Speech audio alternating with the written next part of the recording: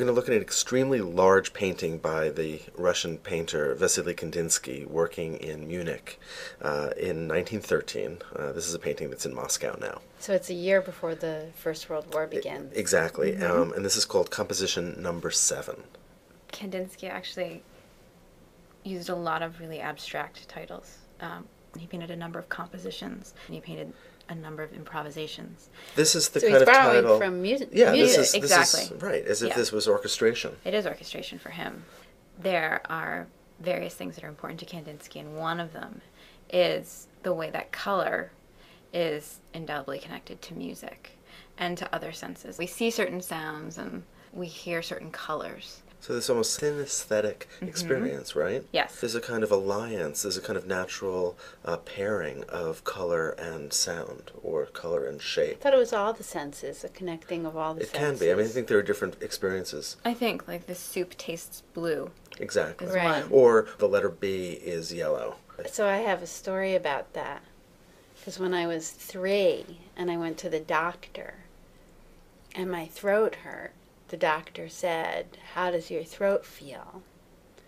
And I said, Red. And I remember shouting, Red! I just remember feeling that it felt the color red. So, So that was is. my main way of expressing how my throat felt. So maybe there is just this connection between the senses, and maybe there is a sense. I think that Kandinsky kind of talks about this, in maybe not in exactly this way, but that our brains sort of ruin that that Yeah. we grow up and we understand convention more and more disassociated from those sort Right. of primal connections Kandinsky spent a lot of his life trying to reclaim that, though. right Right? if we look back at the painting. I keep looking at it and then looking away and then looking at it again and trying to make sense of it. And I think one of the things that's difficult for me about Kandinsky is that I don't really know what he's doing a lot of the time. Then if I try not to think about what he's doing so much and more about what it looks like and maybe something about what it sounds like. He named his composition his uh, paintings composition or improvisation. He was also friends with one of the great early modern composers, the Viennese composer Arnold Schoenberg. So Schoenberg works um, with atonal sounds and atonal systems and compositions. And if you listen to Schoenberg's music and you look at Kandinsky's painting, I think it makes so much more sense. I think we have a little bit, right? i think we do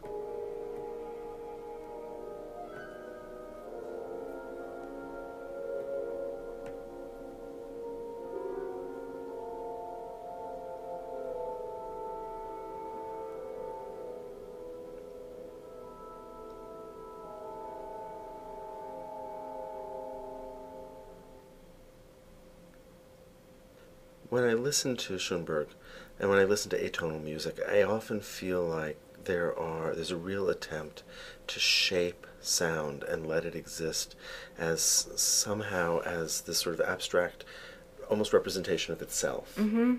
Um, and, and I do see a kind of affiliation between that and what some of the artists of this period are doing, especially somebody like Kandinsky. I think the separation of the representation from the natural world, whether it's sound and music, separated from a narrative composition, or Yeah. whether it's But but music composition. I mean, um, sort of high music, uh, what we now call classical music, is is often disassociated. I mean, there are examples, of course. Beethoven sometimes, you know, in the Sixth Symphony, will, will be mimicking some sort of storm. But but very often there isn't that direct narrative. There is a kind of inherent abstraction in music in music. But when you get to the atonal, more conscious reference to the to the sound of music itself, to the representation of music almost, which I see as sort of more paired to this more self-conscious abstraction in painting. Mm-hmm. But you've just called on, I think, a really important and really significant kind of distinction between painting and music, which is painting has always tried to craft something that it's not. And music has been much more comfortable historically, I think, with its inherent abstraction. music it so specifically changes mood um, and it allows you to sort of stay in that different space and it evokes emotion. It sort of brings you to that very particular place. So listening to that schoenberg it feels really uncomfortable to me to my ears. It's not something that's pleasant. I start to feel physically discomforted i just don't really like it. But that's part of what the idea is.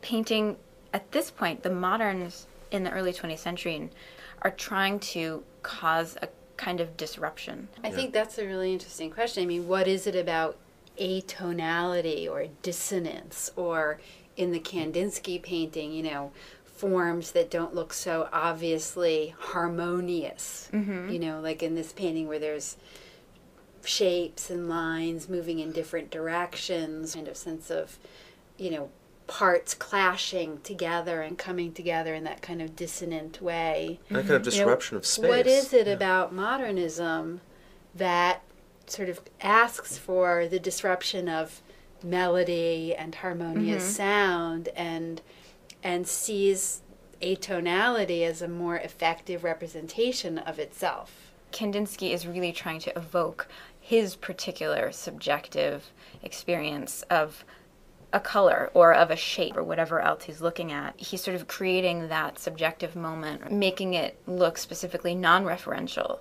Um, and non naturalistic. It's not about making a bridge look like a bridge. It's about what do you feel like when you're crossing a bridge? What does that do to you? So if you look at the top, like, I mean, is that a horizon line up there? I don't know, you know, but what does he do? Is this a landscape? Figure out what anything is, and I think that that's his point. It does feel like it's a painting about a kind of conflict of the forms mm-hmm. themselves, right? Mm-hmm. And so I think you're right. I think he, he sort of pushes past our our desire to associate this with landscape or still life or some sort of representation, even if it's abstracted. Mm-hmm. And we sort of get he's suc very successful, I think, in sort of pushing us to a to another point where we actually can take seriously this notion of form and color beginning to have conflict in and of itself.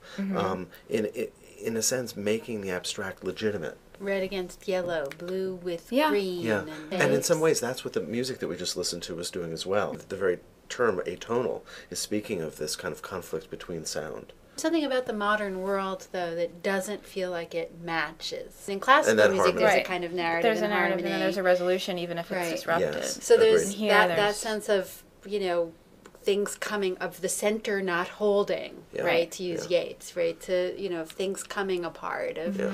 things not, you know, of the world not not having a, a narrative that that explains it, that makes sense, that you know represents human beings' position in the universe anymore. It's so seductive to then say, okay, this is 1913. The sec- the First World War is about to break out, Right. right. All of those players are there, and I think we have to be very careful about doing that. But nevertheless, this is a world that is really in sort of a moment of crisis. I think the idea of apocalypse is inescapable here. We haven't talked about it yet, but in looking at it, it feels like Kandinsky is really working mm-hmm. with ideas of apocalypse, that he's looking to, to kind of destroy and then renew, which is a really seductive idea for the artists at this time. It really is Yeah. among the Italian Uh, futurists. yeah, among also. a lot of them, like Yeah. destroy So what's what is there, that? and because in order to make something new, you have to destroy what's already And also there. this notion of just this this um, Wipe it all away. Mhm, wipe it absolutely, away. and and create a utopia. That, Yeah.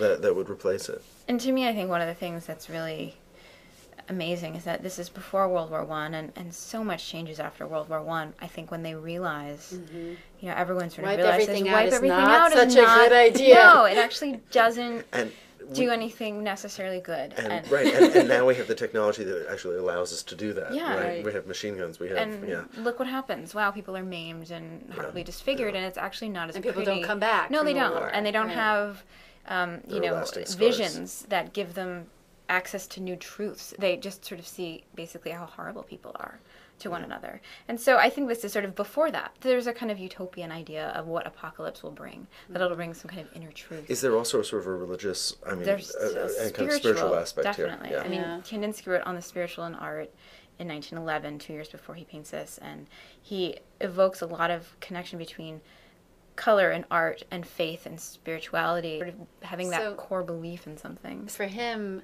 the modern world has lost that Mm-hmm. spirituality, that innocence, that connection to emotion Mm-hmm. and sort of primal emotion. And the apocalypse might restore that Mm-hmm. to human beings, what culture in a way has stolen from us.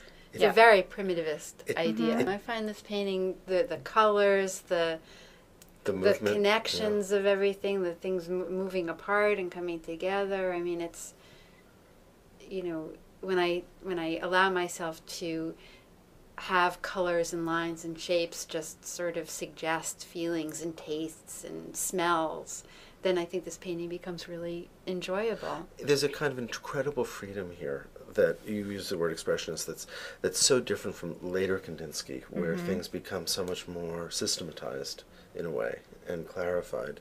Um, there's there's a wonderful sense of invention here. And it's large, so it would have been really really, immersive. Yeah. You know, one wonders like the extent to which he was like trying to give us a kind of grand statement. A of- symphony. I guess the longer that I look at it, I can understand more of it, but I have a hard time really enjoying it. It's a tough painting. It's a tough painting. It is a I think it's painting. it's it's meant to be tough. Maybe that's. It's a okay tough moment. And it's interesting that it's still tough. Mm-hmm. Duchamp and Warhol Mhm. and the whole century of modernism and postmodernism have passed, and this is still a difficult Schoenberg is still tough. Yeah. right? Schoenberg's still tough. Yeah, So that says a lot. it does. There's still a lot of power.